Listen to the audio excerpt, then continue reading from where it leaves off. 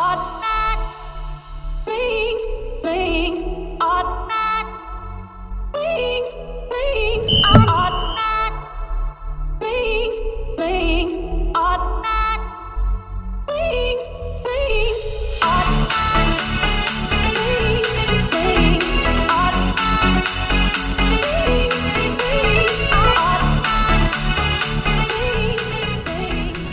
back with another local race. This is the Brisbane Criterium. Back from, uh, geez, like seven years hiatus, something like that. I raced it in, um, I want to say 2010 as a Cat 4. And uh, I won it as a Cat 4, so I was trying to win it again today, but had a lot of really fast guys come today who weren't pre-reg, so um, I was kind of surprised by that at the start line, but I always like good competition, so um, yeah, but tons of fast guys today. Had Chris Reikert, Robert Skinner, Tobin, Ortenblad, um, a bunch of others. I'm forgetting the names, but yeah, just really fast. Field, maybe 25 or 30 riders. It was windy. Brisbane's right by the water. And um, if you haven't done this course, it's, it's a lot of fun. It's it's technical. It's got that hairpin right there, and it's um, it's really short too. So so the laps just kind of tick by. Uh, my lap counter on, on the screen, by the way, is wrong. So forget that. But but um, yeah, we'll just uh, we'll just get into it here. All right, 13 minutes into the race, and Chris Reikert is already up the road. Got Ariel uh, chasing, and uh, Chris Reikert's always fast. I overheard that he'd already done like four hours the same day. Comes out, still dominates local crit. So probably training for nationals or something. He's just always fast. I never feel good when he's up the road because um, God, he did this to me at Santa Cruz. He got away, and he just never comes back. He's got he's got such a, a big motor that um that you just can't let him get away. So I'm I'm trying to uh, kind of cut into his lead here. The chase chase effort's not really going so well, so I'm just kind of taking Ariel's lead here. He's the guy in the blue up there, and, and I'm just going to try to chase it back.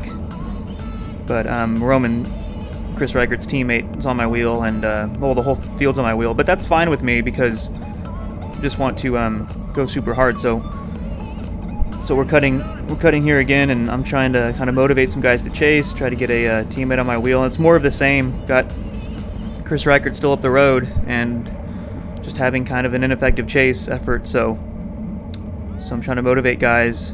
Got another teammate, Christopher Bell, is up here, and and uh, yeah, just trying to trying to pull the field, trying to bring that gap down without completely turning myself inside out.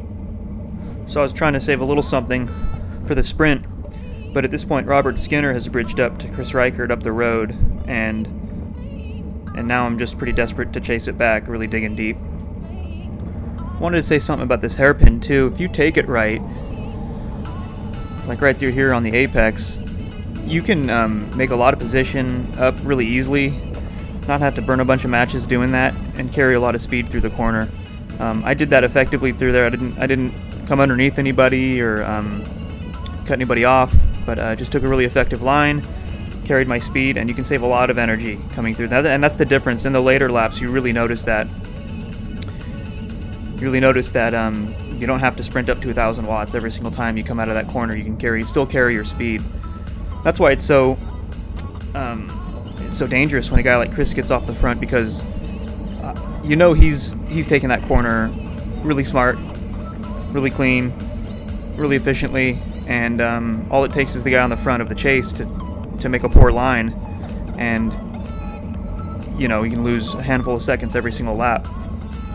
So I got frustrated, and um, I went solo because the chase effort just wasn't happening and um, I was seeing if I could bridge across. It's not really my style, but they were right there. They were like maybe 15 seconds, so I just went for it. I'm training for 10-day stage race in Chicago, and and uh, why not? So I was going for it. And you can see them in the distance there, and it was just like it was torturous. It was like dangling a carrot on a stick in front of me. So it didn't work. I got close, and the chase effort didn't work either. So um, so here we are had Robert Skinner bridge up to Chris Reikert, basically the two strongest guys in the race, um, and uh, we weren't represented. Neither was Cycle Sport, neither was Olympic Club. So um, now we're racing for uh, fourth place because you got Ariel sneaking away, and he's he's in between somewhere.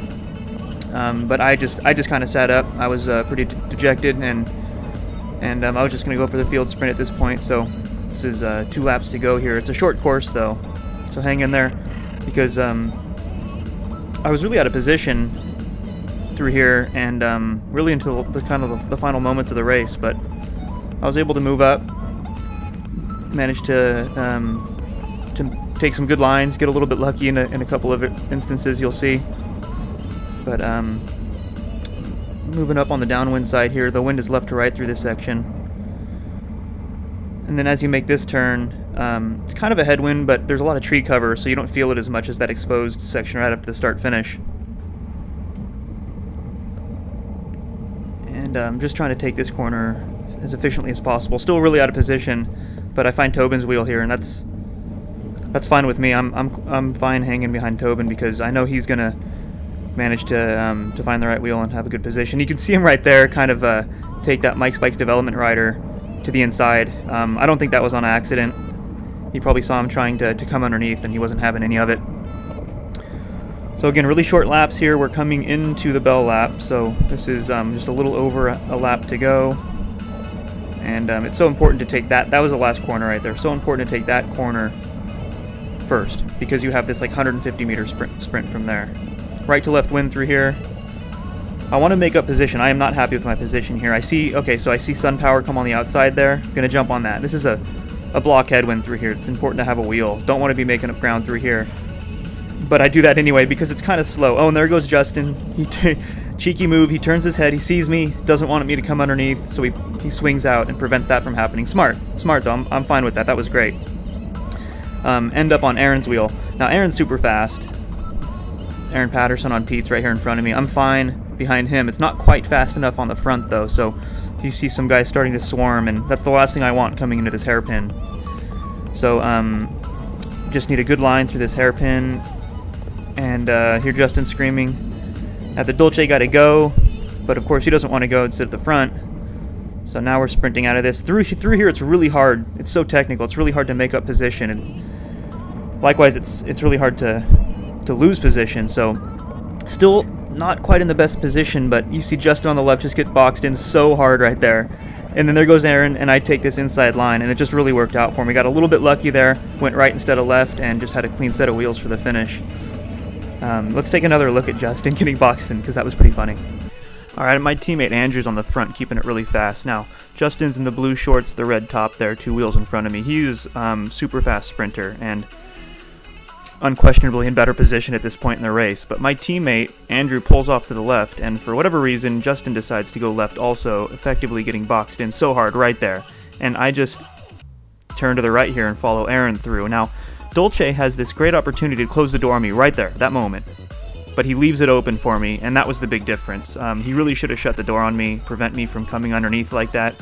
And now I just have an open look to the line. So that was kind of the way the finish worked out. Everything worked in my favor. And sometimes that's the way it works. Sometimes you get boxed in. Sorry, Justin. shout out to the uh, Brisbane promoters for putting on another awesome race. And uh, thanks for watching. See you guys at the next one.